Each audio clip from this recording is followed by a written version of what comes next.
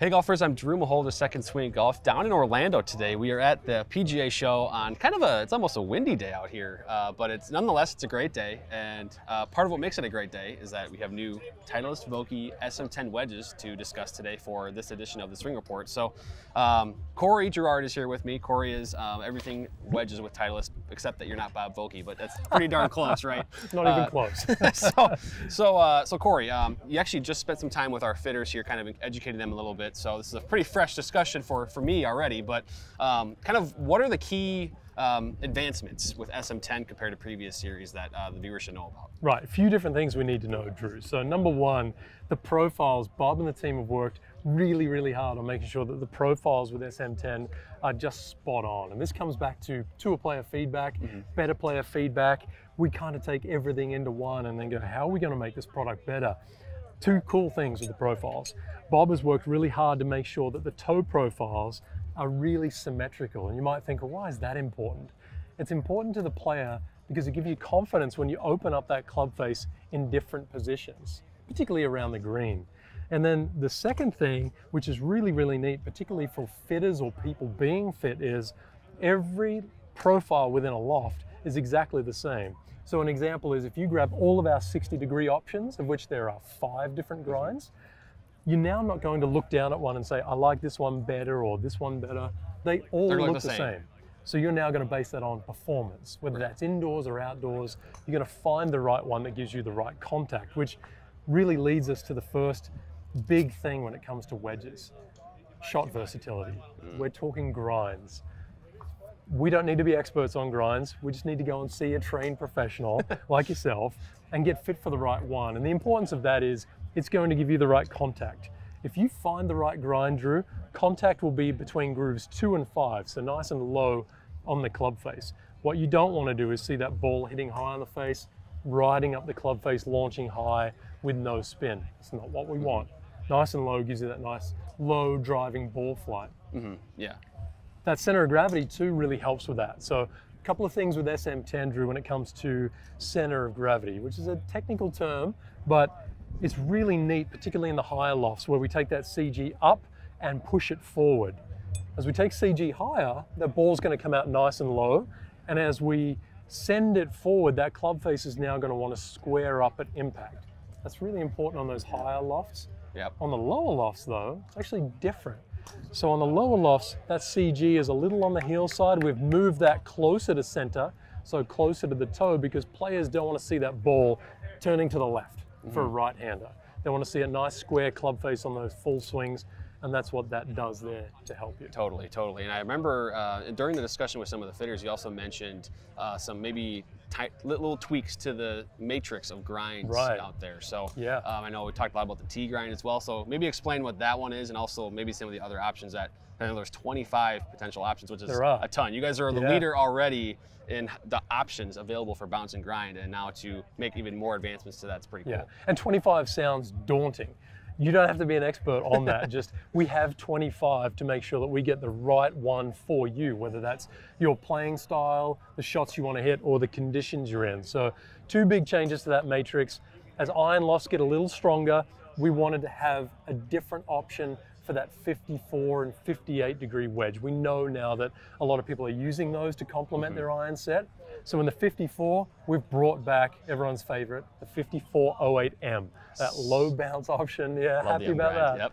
yep. in that 54, and then we complement that with the T grind in that 58 as well. So nice low Sure. four degrees of bounce on that Yeah, one. totally. There's uh, there's always been a, a wide array of options with with Titleist, and um, one thing that I heard you mention too was the grooves and the construction, Yeah. and like how the ball is supposed to interact. So you mentioned that each groove is constructed in a certain manner that provides that interaction with the golf ball every single Right. time, repeatability, right? we spend a lot of time on wedge design. We probably spend the most of our time right here on grooves and maximizing spin. Not just the most spin, but managing spin over the life of that wedge. So a couple of key things here.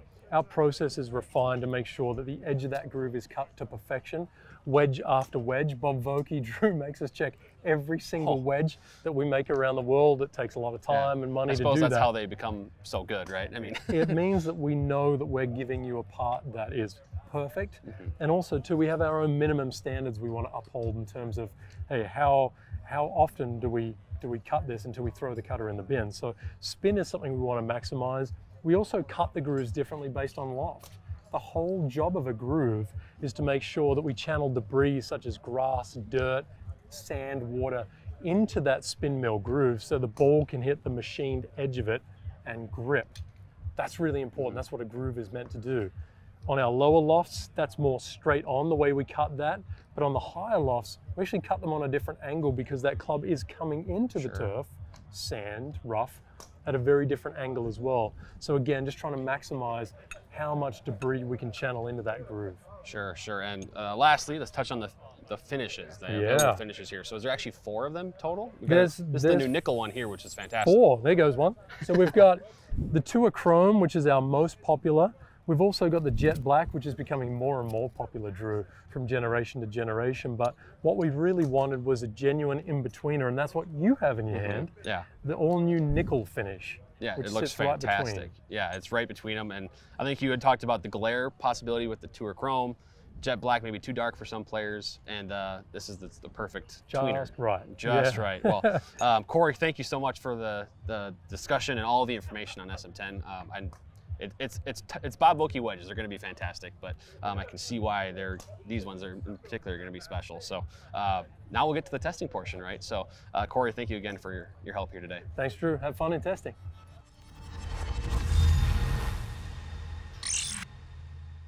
All right, I'm joined now by Jake Montgomery here on the practice area at Les Bolstad Golf Course. Jake, of course, you're a master club fitter at the Minneapolis store, um, and you also play the SM10 wedges. So I do. This is uh, very kind of relevant for both of us. Actually, Mhm. I, I also play SM10s. This is going to be great. But um, we learned about these initially at the PGA show. It's now a few months later. We got some nice weather here in Minnesota, um, and you so you've been playing some golf. What have you thought so far about the SM10s that you've got in the bag? I've absolutely loved them so far. Biggest thing I've noticed is that little lower flight they talked about with moving Yeah. that center of gravity. I struggle a bit with flighting my wedges. I keep the face a little open. I'm seeing a lot lower trajectory.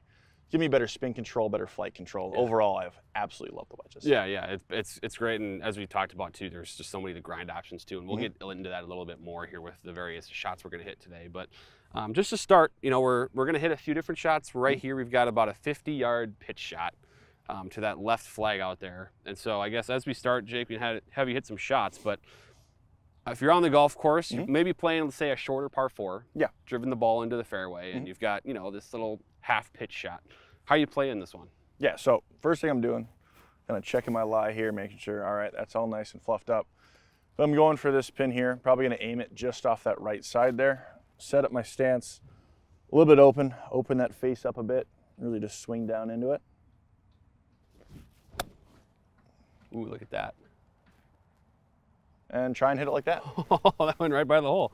Okay, yeah, because I noticed you you mentioned flighting the wedge, and that Mm-hmm. one did have kind of a nice, you know, you it almost piercing low, and it kind of hopped and checked on you. Yeah, absolutely. If you can keep that a little bit lower, you're going to Yeah. control that spin a lot better. But it gets high up in the air, it's kind of harder to judge where you're going to land that on the green. Yeah. So if you can flight that a bit lower, it's definitely going to help you score a little better. There it is. Pretty good. That There. one kind of chucked forward off the fringe there. Mhm. Just a little front kick.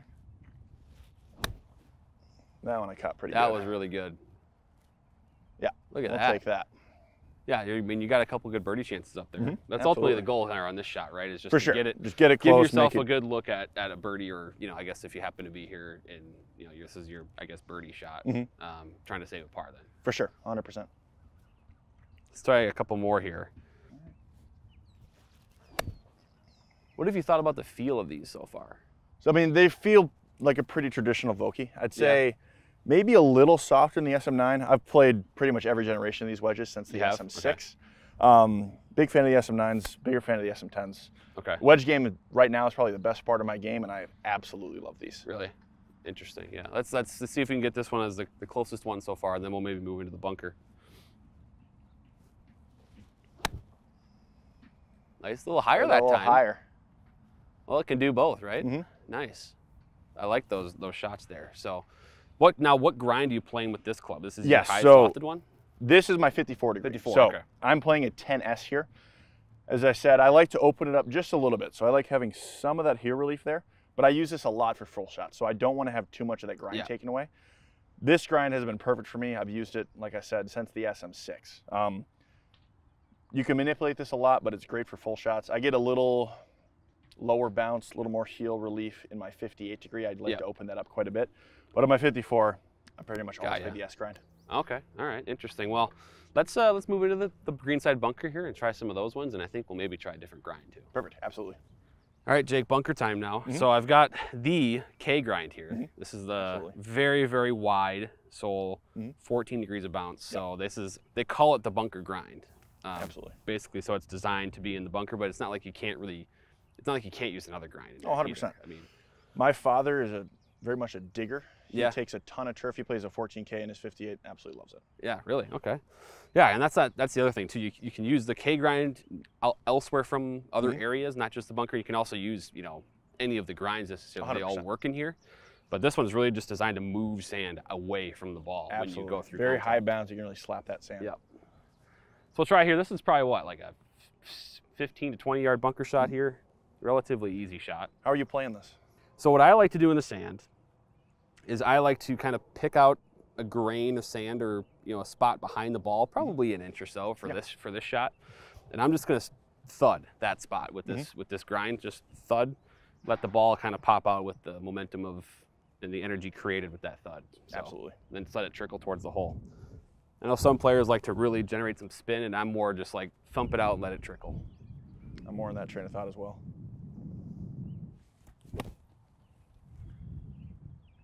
Ooh, we got a little Right bit too it. firm with that one. Yeah, I'm gonna take down a little bit of the swing speed here. Yep. Nice shot. Thump it out, let it trickle. But yeah, it's so it's like I'm I'm even noticing too like how much the sand is just removed from the area. Mm-hmm. 100%. like I look down and there's just nothing there anymore. Yeah. Which This is really nice. You can really just slap the sand, ball disappears right at the green. Great shot. Yep. And at this point, you know, I think most players, if they're in, find themselves in a bunker, you Mm-hmm. know, and you're trying to say what, like, a f- I mean, 50% would be awesome getting up and down from Oh, 100%. the bunker, right? Absolutely. Yeah, I think I don't know what the tour average is, but I think it's got to be close to, you know, not far above 50%. No. So, all right, let's try one more here if I can get closer than the rest of them.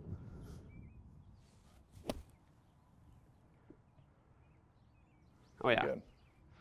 Yeah, I mean it's just it's so smooth. And again, we can, you know, it's this is a grind that you mentioned too. Like if I find myself in some like thick rough Oh, yeah. or you know, finding myself where there's a lot of stuff around the golf ball, Mhm. that's where the the K grind can just move stuff out of the way, For sure. especially that kind of softer turf and Yeah. and Especially, yeah, if you play at a course with very soft conditions, that Yeah. K grind can be a great option for people. Yeah, I think uh, what's going to be fun now is we're going to maybe try something to uh, give you a little bit of a tougher shot. Mhm. We got bunkers out here. We can maybe flop it over. Oh, absolutely. I like that. We're going to see what we can do here. Perfect. All right, Jake. Now we're outside behind the bunker. Mhm. We've got some kind of high lofted flopping shot to do here. So probably what, 25 yards or so. Yeah, I'd say pretty close to that. Um, now on this shot, you've Mhm. got a different wedge here. So talk about the wedge you're going to use and kind of how you're going to try and hit this one. Yeah, so this is my 58 degree 8M. M grind, a lot of heel and toe relief. That allows me to set it very open with that leading edge being lower to the ground. Also lower bounce. That lower bounce helps me get underneath the ball a little easier. This is my flop machine. I use this quite often. I'm not scared to hit flop shots with it. Hopefully I can hit a couple good ones here. Yeah, I like that. I like that. I also am the same way where, you know, basically if there's any way that, you know, lofting the ball a little bit can help Mhm. around the green, I always try to do that. And I For have sure. a 60 degree, but also the same grind. Yeah, M grind. Absolutely. So for this shot, I'm gonna set up pretty open, play my hands a little lower, Yep. let that club really lay flat on the ground, and my feel is almost that I'm cutting across it that way. Oh yeah. You could even still hear a little bit too of the like the bounce still interacting with Oh, the yeah, ground absolutely. too. Like it's not like there's not enough bounce. You can still hear that kind of thud action.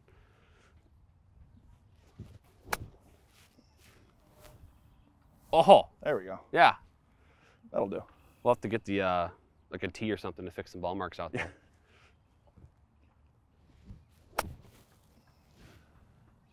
Yeah, these are just landing nice and soft, and depending on the the green and the conditions, right? I mean, that ball can kind of trickle down a hill per se, sure. or you know, there's the just getting the ball to land softly is the key part here. Oh yeah, Yeah, like that one landed really softly for Mhm. you. A little bit past the hole, but it's still right there. Yeah, this is a shot I definitely use if I'm hitting onto a downslope, trying to get that Yep. to land as Right. soft as we can. Oh yeah, there's another good one. Ooh, you're getting close to dunking these. Yeah. I'm gonna let you keep hitting until you dunk one because I think you're you're zeroing in on that hole. Oh, that's really good. Can you do one better than that? That's pretty darn good. Let's see. Oh yeah, that looks so good actually. Oh, curling. Ooh, that's a good finish. That's a good finish. Okay, definitely. so that's how you hit the flop shot with your Vokey SM10, the M grind, right? Mhm. Sweet. That's so that's what you actually would set up with on the golf. 100%. Yeah. Absolutely. Okay. All right. Well, we've hit a few shots here. Um, we kind of know a little bit about the playability of these wedges. You can hit any type of wedge shot. Let's kind of wrap things up here in our final thoughts segment, um, and we'll kind of help golfers with more of those grinds specifically here. For sure.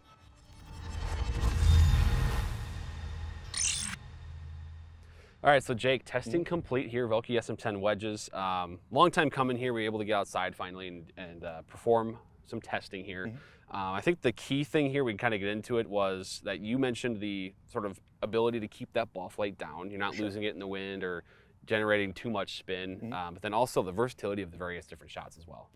Absolutely. hmm And then as we get into the grinds too, let's go kind of, I'll talk through a few of the grinds to kind of give your feedback on really the type of player that they're for. So um, starting with the D grind. So this is the, the D grind is the player's high bounce wedge. So it's kind of like the M grind, but just a little higher bounce versatility. You got the relief kind of across on the, the heel and the toe and the back edge there. Um, so really for the player that likes to open the wedge, but still might be a little steeper, you think? Yeah, 100%. If you're someone that takes a divot from 30 yards out, Yeah. D grind is for you. If you attack it very steep, that bounce is going to protect you from that kind of chunk miss that you Mhm. typically see a lot. Still a lot of versatility. You can open that face up, still get it a little lower to Yeah. the ground, but that D grind is really going to work well for that player that takes a larger divot. Right, right. And there's a lot of players out there that do take the big divot. So um, that's definitely one for them. Now, the F grind is kind of a different direction. Um, you're going to see the F grind a lot on like your 46, 48, 50, 52 degree lofts Yep. because the F grind is pretty much that all purpose grind for mostly full swings or maybe like the square face kind of chip shots around the Yep. green. So, Absolutely. I mean, if you're not, I guess I would say if you're not a player like to open or close, Mhm. that's probably where you'd lean, right? Yeah, for sure. If you're playing that wedge just kind of straightforward like this, maybe a little forward press there, but not opening it up at all, F grind is totally fine. Most players play that in their 48 through 52 degree. Um, yeah, very solid grind for those more Yep. full shots or just straight pitch shots. Now the K grind, we talked about this one already, uh, Mhm. so don't need to go into too much detail. But basically, big wide sole Yep. um, for you know a little bit more forgiveness there, but also for bunker shots and kind of moving extra debris or grass, um, anything out of the way of the golf ball, Mm-hmm. making sure you get clean contact there. Um, next two, I wanted to touch on the two that you have in the bag, Yes. M and S. Yep. So the M grind, we talked about that one with the flop shot. Mm-hmm. Um, describe a little bit more about the M grind and who might benefit from that. Yes, I mean, it's just a very versatile wedge. If you're a bit more of a sweeper, you can Mm-hmm. get into that lower bounce M grind there.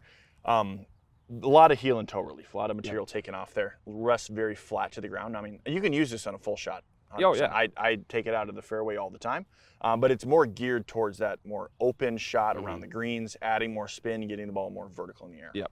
And then that S grind, you also said you had a 54 degree Mhm. S grind. Yep. So that's kind of a, um, it's got some trailing edge grind, Mm-hmm. um, sort of built for kind of maybe slightly towards those square face shots, but you can still open Yeah. a little bit too. right? Absolutely. It's it's really just an F grind with some kind of trail edge relief. Yeah. You can open it up when needed, but it performs very well on a full shot or a pitch shot.